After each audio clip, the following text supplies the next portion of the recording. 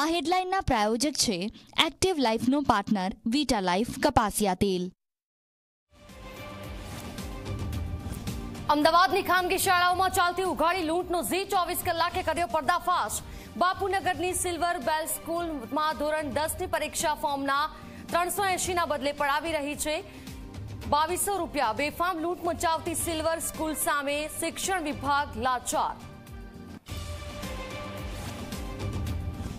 રાજકોટમાં વંદે ભારત ટ્રેન પર કેટલાક અસામાજિક તત્વોએ કર્યો પથ્થરમારો.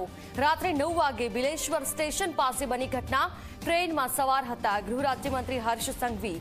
રેલવે પોલીસે હાથ ધરી આ મુદ્દે તપાસ.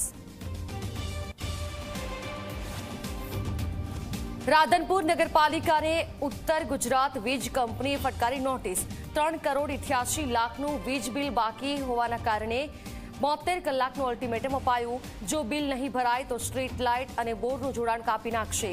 શહેરીજનોને પડશે ભારે મુશ્કેલી.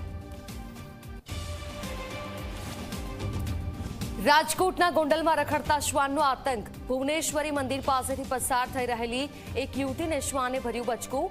બે દિવસમાં ત્રીસ જેટલા લોકોને ભર્યા બચકા. પાલિકાની કામગીરી સામે લોકોમાં ભારે રોષ.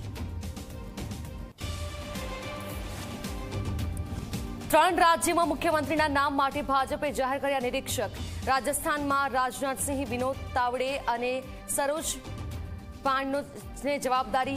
તો એમપીમાં ખટ્ટર કે લક્ષ્મણ અને આશા લકડા જ્યારે છત્તીસગઢમાં અર્જુન મુંડા અને સર્બાનંદ સોનોવાલની નિયુક્તિ. ફરી એકવાર મોટા વૈશ્વિક નેતાએ કરી. પ્રધાનમંત્રી મોદીની પ્રશંસા. રશિયાના રાષ્ટ્રપતિ પુતિને કહ્યું, મોદીની ગેરંટી એટલે ભારતના વિકાસની ગેરંટી. પીએમ મોદીને ડરાવવાની કલ્પના પણ ન કરી શકાય.